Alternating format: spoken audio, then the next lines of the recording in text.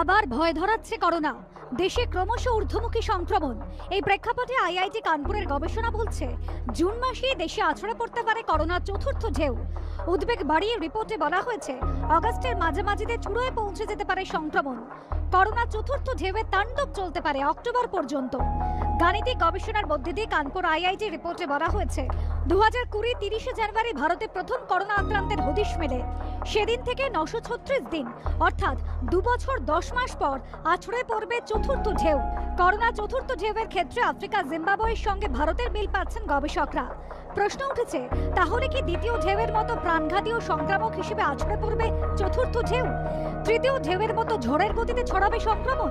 IIT কানপুরের গবেষণায় এই সম্পর্কে তথ্য উঠে না এলেও রিপোর্টে বলা হয়েছে, ভ্যাকসিনেশন বুস্টার ডোজের ওপর পরিস্থিতি অনেকটা নির্ভর করছে।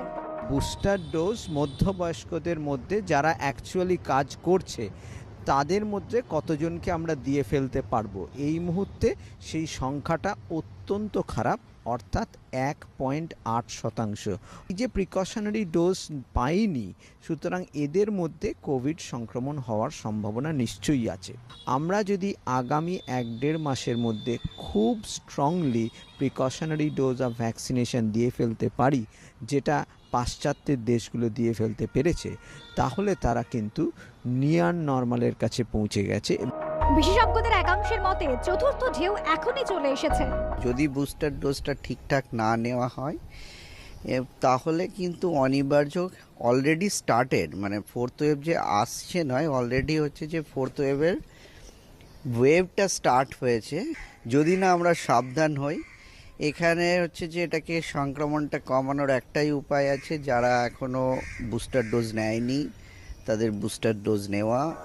সব করোনা চতুর্থ ঢেউ আবার যদি করোনার বাড়বাড়ন্ত হয় তাহলে কিন্তু স্কুল কলেজ বন্ধ হতে বাধ্য বন্ধ করতে বাধ্য রাজ্য সরকার। তার কারণ যদি চতুর্থ ঢেউ আসে যদি আগের বছরের মতো পরিস্থিতি সৃষ্টি হয় যদি অক্টোবর মাসে পুজোর সময়টা ভিড় ভাড়ের জন্য আবার করোনা বেড়ে যায় তাহলে কিন্তু কলেজের পরীক্ষাও অনলাইনে নিতে বাধ্য হবে রাজ্য সরকার এবং স্কুল কলেজ কিন্তু অনলাইনেই হবে। কিন্তু এখন ইতিমধ্যেই কোনো রকম নোটিশ নেই।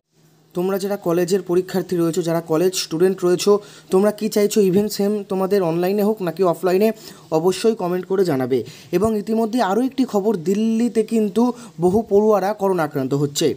এবং উচ্চ মাধ্যমিক শিক্ষা সংসদও সেই নিয়ে একটি বিজ্ঞপ্তিও জারি করেছে ইতিমধ্যেই।